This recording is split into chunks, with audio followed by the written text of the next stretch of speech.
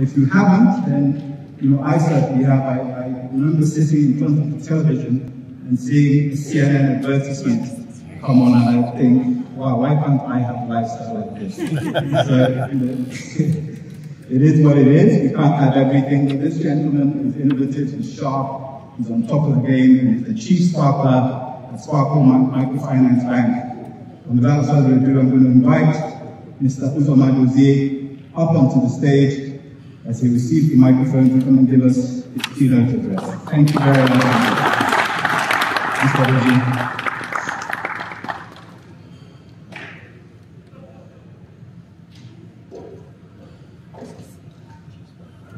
Thank you. Uh, thank you, ladies and gentlemen. Thank you, AppZone, for inviting me to say a few words. I really don't know why, because to tell you the truth, I'm still trying to wrap my head around understanding blockchain applications and what it can do. And every time I think that I've cracked it, someone tells me something else that it can do. But let me start with a story. And a few years ago, I think about 10 years ago, and this is at the time when you know, banks were looking for new ways to penetrate the market, to provide services for more Nigerians. And we, we, we realized that the people that were going to come to the banks had already finished coming in. Everybody else was not going to come for many reasons. Either it was too expensive, it was inconvenient, they didn't understand banks. And so we had to go out there. And to go out there, we, we had to adopt new solutions, new technology, embrace new technology. And of course, the mobile app was the only thing that made sense. But technology is one thing, but having trying to get people to use it, to change the way they, they have been going about their business is a different thing. Because you know, there's, a, there's, a, there's, a, there's a saying that if broke, don't fix it. And they don't understand that. But working with a few people, and this is where, you know, you now have to start relying on other non-financial partners um, to actually achieve your objective in financial inclusion or going down the pyramid. But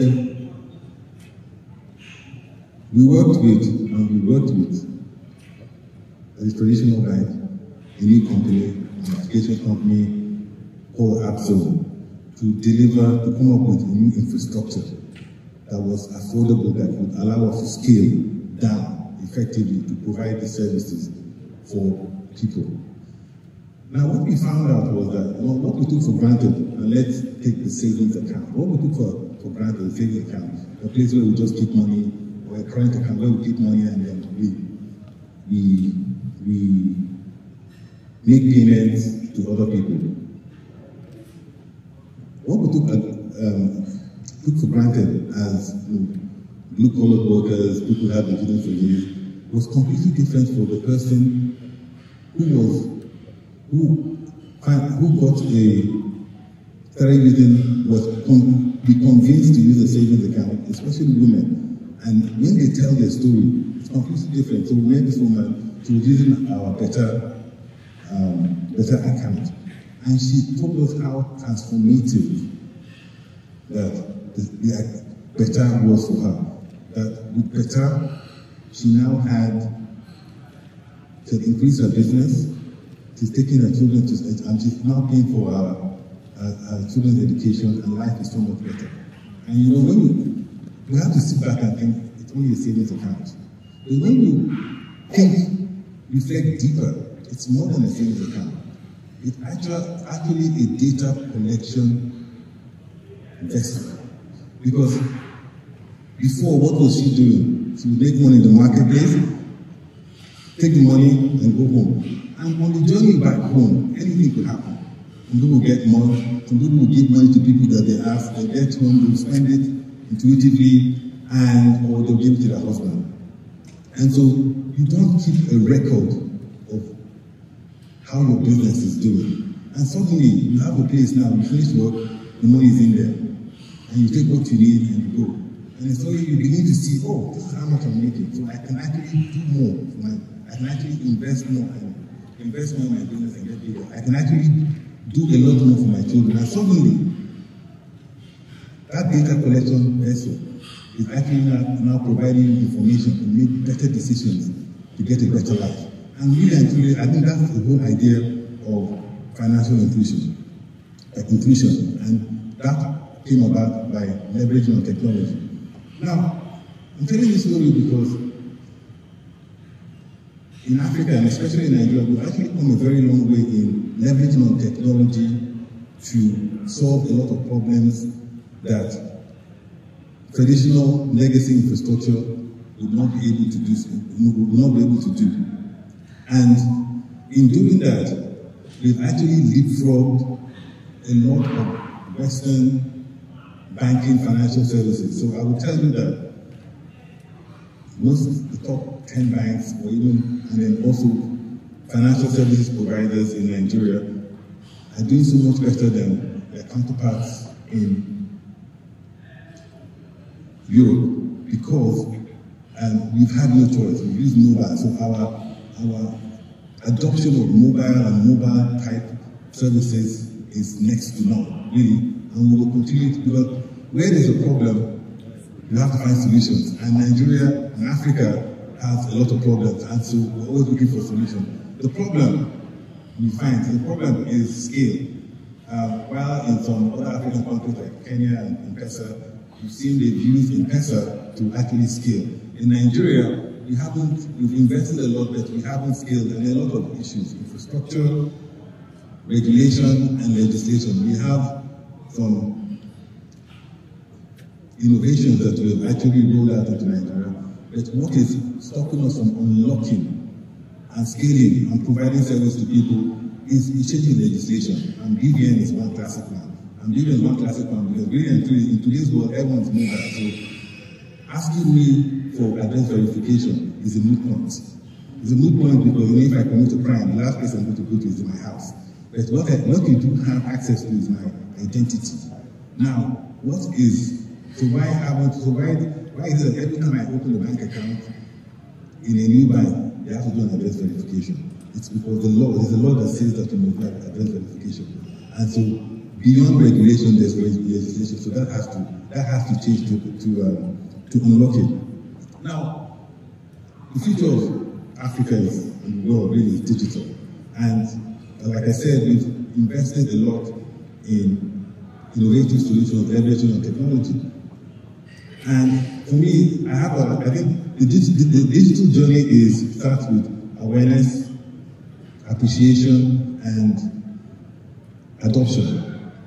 Now, in um, prior to COVID, there's a lot of awareness. I'll give an example. General.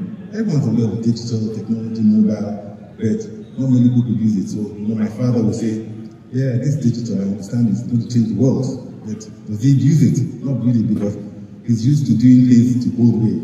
He ain't broke, so he's not going to fix it, and change is sometimes difficult. And so, appreciation is minimal adoption little. Now with COVID, created great awareness because you have no choice. You're either going to become digital or you're going to die.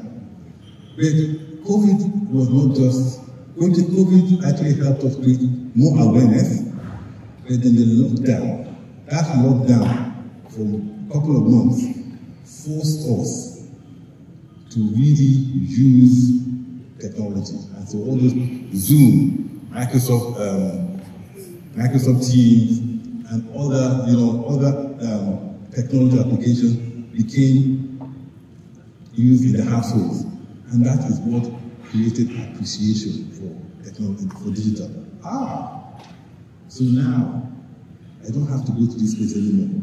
Now I don't have to fly. Now I don't have to go to, I can have it delivered to me. So appreciation is, and then this is the cost effectiveness. And you can actually monitor people. Before, we always we always felt that you know you have to go somewhere to see what people were doing. But now you can even realize with technology, you can actually see if people are actually paying attention, better attention when you're actually in a meeting as well. And so application across many industries is enhanced, which of course facilitates adoption. And so why haven't we, why haven't we um, scaled? And we haven't scaled too because there are some infrastructural issues that really impact the human psyche to actually adopt, which is two things really. For me, transparency and trust. If people can't see or understand, transparency is understanding. Transparency is going to see. See, if you can't see, then adoption is minimal. And it affects trust. And trust is not about people lying. Trust is that I don't understand, I, I don't understand, and I don't understand. And trust is also, if something happens, who do I fall back on? How do I repair or resolve things? And so, why we're here today is because we have switches. And the zone is another switch. But built on new technology. Technology that addresses issues for me of trust and transparency. Transparency because today if I do a transfer to Emeka, I don't know if it's my bank that is the problem, the switch that is the problem, or the other bank. And then you can't trust that everyone has the same value system to report it immediately because we are human. And these systems are built around humans. So beyond centralization is also that human, human factor. And you have a switch. So the blockchain, let's leverage the blockchain for transparency. So it's not a case of banks or centralization. In the case of, I know exactly where it is. I don't have to rely on anybody to actually tell me where that is. And so now I trust more. And trust because I'm not relying on one central system, I'm relying on multiple. So if one fails, the others. Now, this is what is going to really change and impact the market. It's going to create more adoption because now people will see we don't have to rely on people. If we don't have to rely on people, that means we can scale further. If we can scale further, we can now create that network effect. And so that's why, you know, this innovation, the zone, will also help existing infrastructure, right? Do more cost effectively, create more experience, and also create new solutions and innovation around this infrastructure. So thank you very much for bringing this to the market, and thank you for allowing me to say a few words today.